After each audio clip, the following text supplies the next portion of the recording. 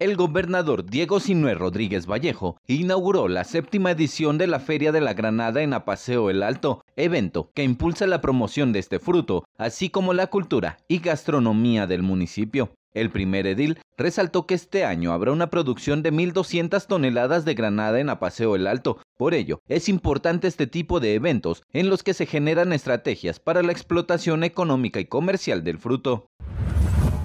Aquí Aquí así como para Irapuato es la fresa, así como para la Celaya es la cajeta, el calzado para el León, la granada trasciende y pasa a formar parte de la identidad de la gente de Paso del Alto.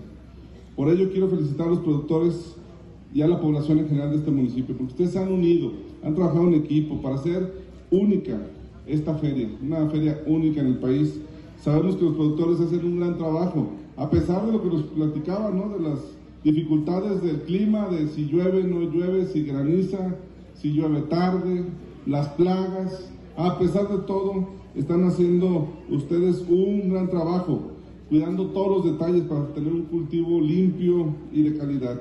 Una de las actividades principales de esta feria es el concurso de la granada más grande, el cual ganó el productor Saúl Rico Arzate con un fruto de un kilo 127 gramos, gracias a un sistema de cultivo orgánico. Utilizamos fertilizantes foliares orgánicos completamente. También utilizamos compostas.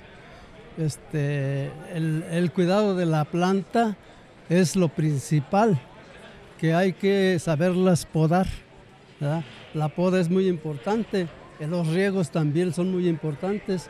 Entonces, para producir granadas grandes hay que darles de comer. Nosotros las alimentamos muy bien porque son nuestro, nuestro sustento para, para sobrevivir aquí. ¿sí? sí. Desde, desde mi abuelo, hace ya, mi abuelo ya hace como 50 años que se murió, pero desde mi abuelo nosotros cultivamos las granadas. Durante tres días, esta feria será punto de encuentro y de diálogo de los productores para buscar la colaboración de otros estados, tanto en el intercambio de manejos agronómicos como en la mejora de los canales de comercialización. Para Noticieros Expresa TV, informó Roberto Lira.